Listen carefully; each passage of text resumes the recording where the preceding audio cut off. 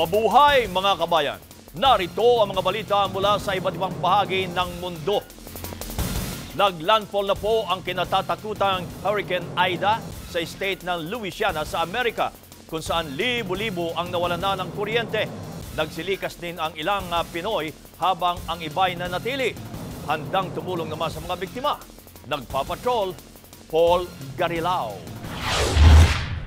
Matinding storm surge at napakalakas na hangin ang sumalubong sa mga residente ng Louisiana nitong linggo, bunsod ng bagyong Ida na itinuturing na pinakamalakas na bagyong tumama sa Amerika nitong taon.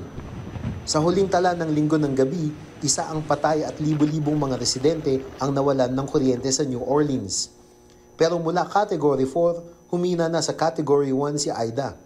Matinding pinsala ang dinanas ng siyudad na Jean Lafitte sa Louisiana na dulot ni Ida at hindi makapasok ang mga rescuer para iligtas ang mga stranded na residente doon dahil sa isang nasirang tulay. Bago pa man nanansala si Ida, nagaya na ng mandatory at voluntary evacuation order si Louisiana Governor John Bell Edwards sa mga epektadong lugar ng Southern Louisiana. Ang ilang mga film resident ay sumunod sa evacuation order ng gobernador.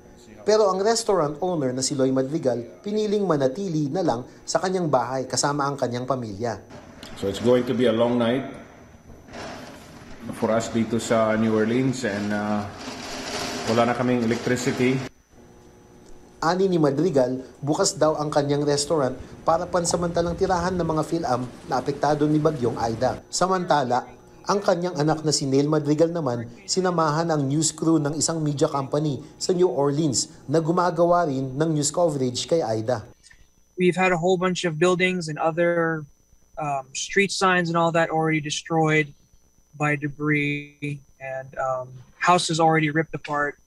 Ibinahagi ni Madrigal ang mga kuhang ito sa ABS-CBN News habang kasagsagan ng bagyo. Naglandfall si Aida sa ikalabing anim na anibersaryo ng bagyong Katrina na kumitil ng mahigit sa isang libo at walong daang buhay sa Louisiana noong 2005. Pero sa pagkumpara ni Madrigal, mas malala pa rin daw si Katrina. Hurricane Ida is slightly different. It's mostly the winds that is very dangerous. Um, the the rain is constant. There is there hasn't been any thunder or lightning.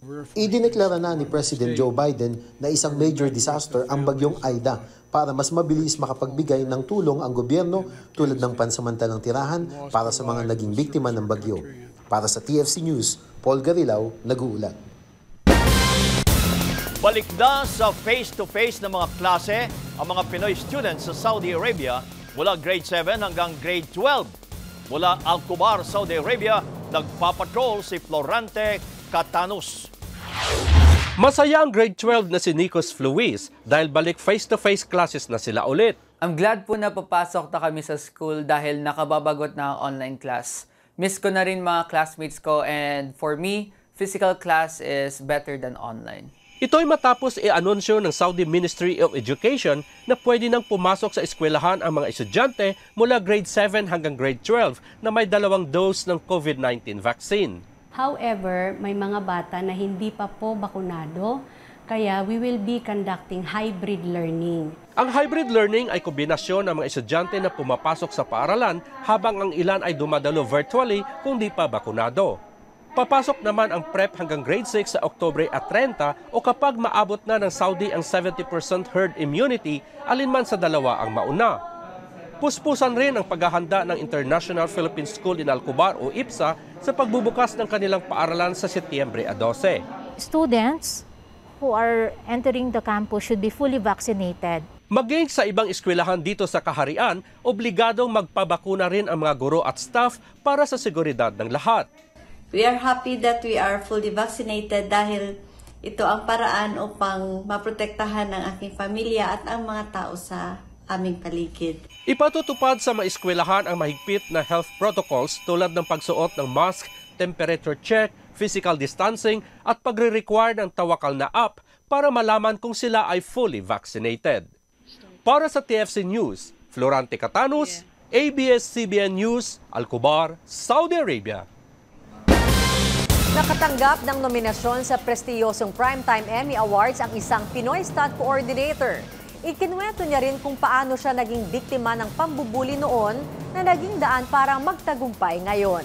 Nagpapatrol Hollywood correspondent Yong Chavez. Sa unang pagkakataon, natanggap ni Brett Chan ang inaasam na Primetime Emmy nomination para ito sa kanyang trabaho bilang stunt coordinator at action director sa TV series na Warrior. Base ang istorya ng palabas sa mga naiwang panulat ng martial arts legend na si Bruce Lee. Mahigit 25 taon na sa industriya ang Pinoy Stunt Coordinator Performer. Mahaba na ang listahan ng mga proyektong kanyang nagawa gaya ng Marco Polo, Skyscraper, Nacho Libre at marami pang iba kasama na ang popular na Twilight film series. Bagamat siya lamang ang nominado para sa Warrior, maigting ang pasasalamat ni Brett sa lahat ng bumubuo ng stunt department ng Warrior. I have a, a really great team around me, um, and they, they make me look good. So uh, allows me to be here uh, uh, for the Emmys. It's really cool, to say the least. Ipinanganak si Brett sa Canada sa Chinese na ama at Pilipinang ina. And I moved to the Philippines for three years, and I got into fights all the time there because I wasn't dark enough for all the kids. And then I moved back to Canada, and I was always getting picked on because I was small. I was always really small as a kid, and and I talked like this, you know, when I go come back to Canada. So then kids always picked on me there. And by that point, I've been doing a lot of martial arts already, and my dad always made sure I, I did martial arts, and so that I can always defend myself. Kahit saglit lamang siyang tumira sa Baguio, hindi rin niya nakakalimutan ang kanyang pagiging Ilocano. Pinay din ang asawa ni Brett. Maliban sa pag-aaral ng martial arts, may background din siya sa sports rehab therapy, bagay na nakakatulong ng malaki sa kanyang mapanghamong trabaho sa pelikula at telebisyon. Bumuo din si Brett ng grupo ng mga stuntmen, ang Hits International, para madaling makahanap ng maayos at profesional na makakatrabaho gaya ng mga kinuha niya para sa kanyang bagong TV show, ang Halo na batay sa popular na video game. Excited na rin siyang gawin ang pelikula kung saan magdedirect siya sa unang pagkakataon. It was a collaboration. Uh, Electric Panda, uh, Yaz Talat, uh, he he's uh, one of my producing partners. Anyways, he had a script called Fox Hunt, and that basically, you know, it rolled into my lap. He says he'd like me to to direct it because of all the action in it. Yong Chavez, ABS-CBN News, Hollywood. Bago po nagdeklara ng lockdown sa New Zealand, nagtipon ang daang-daang Pilipino doon para ipagdiwang ang kulturang Pinoy sa tinaguriang Philo Night. Nagpapatrol sa Resa Lapas. Higit limandaan ang lumahok sa Filipino Night o Philo Night sa New Zealand nitong August 13, kung saan itinampok ang kulturang Pinoy. Nakiisa rin sa mga aktibidad ang 70 mag-aaral ng Rosmini, Carmel at Marcelin Colleges. we wanted to just sort of celebrate our culture and sharing it to people outside of our um, Filipino community is something that we um, had in mind the whole time. Of course, it's a charity event, so all of our uh, profits went straight to a charity in Philippines to help with COVID relief. Pero ilang araw matapos ang masayang pagtitipon, nagdeklara ang gobyerno ng lockdown.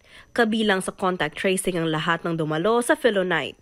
Ininforman namin yung mga kaibigan namin who we met between the 13th at saka 17th of August. Yep, 13th. Just so they know na we are taking the test. Kasi kung halimbawa mag-positive kami, which we don't know yet, at least they are aware and they would be able to take the time to isolate themselves. Siyempre, concern lang sila dahil kahit asymptomatic kami, pwede kaming maging carrier. So, we decided the next day na magpa-swab test. And after actually, in end of the day, nakuha na namin yung result namin, which is negative kami parehas.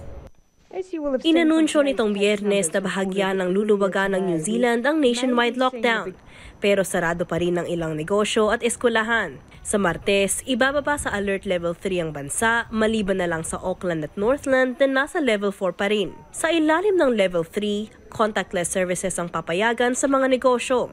Sarado ang bars at restaurant maliban sa mga take-out. Para sa TFC News, Teresa La Paz, ABS-CBN News, New Zealand. At yan po ang ating mga balita mula sa iba't ibang bansa, hatid ng TFC News. Para sa ibang balita mula naman sa ibang panig ng mundo, mag-log on lamang sa news.abs-cbn.com slash TFC. Marami pong salamat, kabayan!